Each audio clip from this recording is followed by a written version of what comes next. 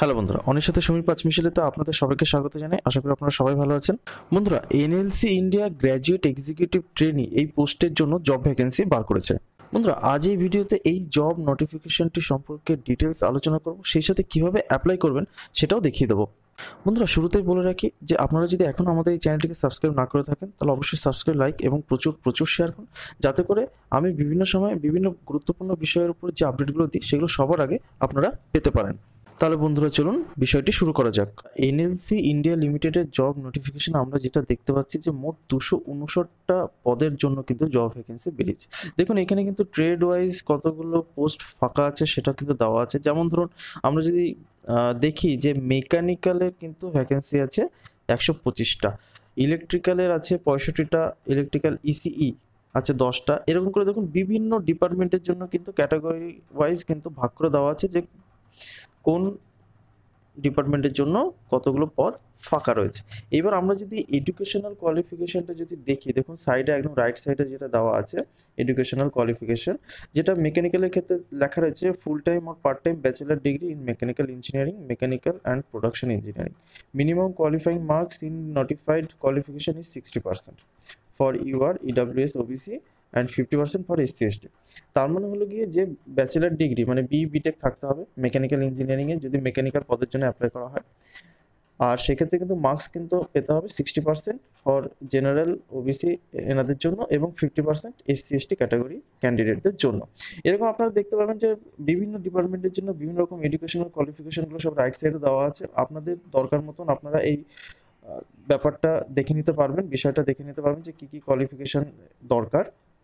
এবার বন্ধুরা আমরা একটা গুরুত্বপূর্ণ বিষয়ে যাব যে এজ লিমিট এজ লিমিট দেখুন জেনারেলদের জন্য কিন্তু তিরিশ বছর ম্যাক্সিমাম এজ লিমিট হবে।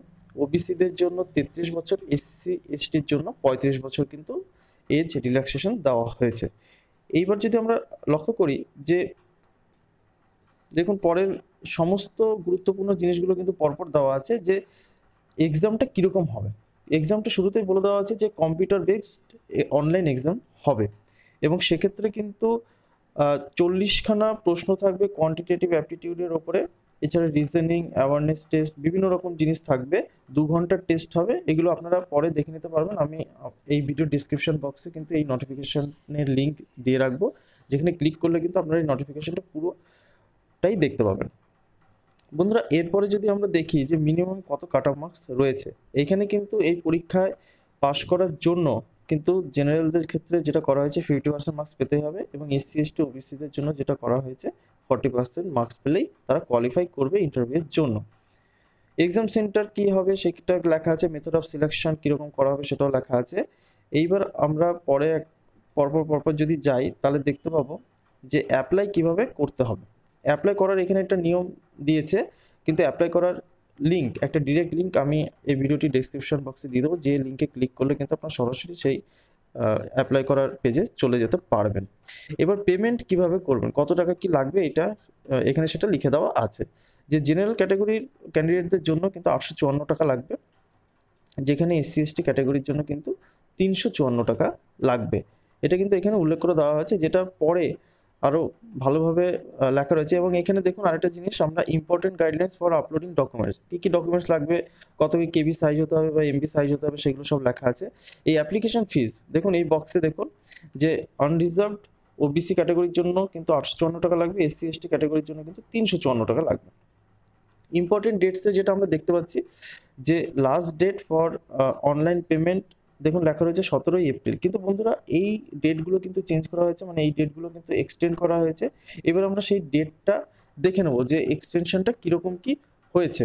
দেখুন, ডেট এক্সটেনশনের ব্যাপারে দেখতে গেলে প্রথমে গুগল ক্রোম খুলবেন, সেখানে লিখবেন এন এনএলসি লিখে যদি আপনারা এন্টার করেন, তাহলে প্রথমেই যে পেজটি খুলবে, এনএলসি ইন্ডিয়া লিমিটেড, সেখানে ক্লিক করবেন।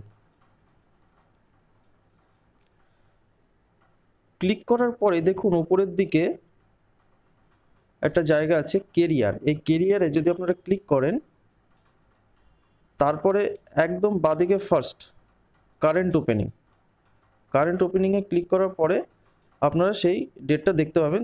যেখানে দেখুন বন্ধুরা পুরোপুরি লিখে দেওয়া হয়েছে recruitment of graduate executive trainees GETs in various discipline